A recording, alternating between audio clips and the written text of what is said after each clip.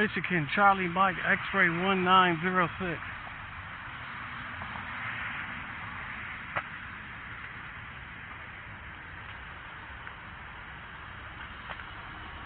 How we doing today? How you doing? I'm all right. Listen, Huh? why are you sitting here? Someone got carjacked here earlier today. I wouldn't, oh. I wouldn't want the same thing to happen to you. So why are you I sitting here? just visiting somebody that do live here. Okay. All right. not gonna be here long. No, we not. Okay. Ain't no more. Want to smoke weed? Smoke in the apartment, not in the cars.